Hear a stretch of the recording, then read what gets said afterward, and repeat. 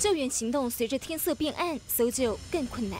海上传来油污的阵阵恶臭，救护车在岸边待命，随时急救。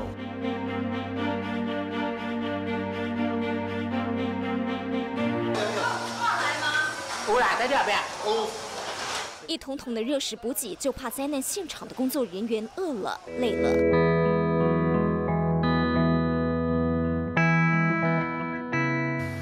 这一夜，他们不眠不休，慈济服务中心化身深夜食堂。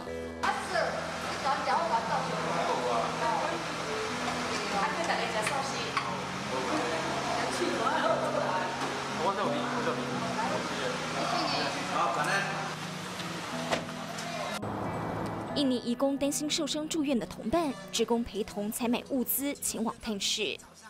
这些印尼义工哦，说真的，在他乡都不知道啊路途怎么走。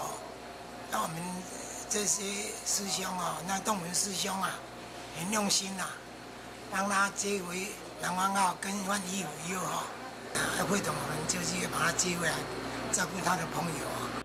爱的接力无缝接轨。事发第二天早上，另一团队志工已为工作人员备好早餐。两百个面包，还有好朗咖啡、豆奶。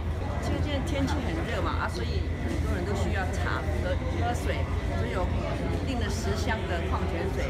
前方车辆请向右避让。还有外籍义工失联，同乡友人在岸边焦急守候。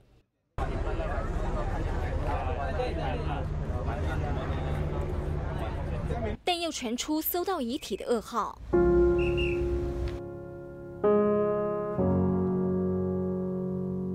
随着时间一分一秒过去，气氛越来越沉重。还有人没找到，就表示还有希望。搜救前线持续努力，志工是温暖的后勤支援。大新闻，真善美志工，依兰报道。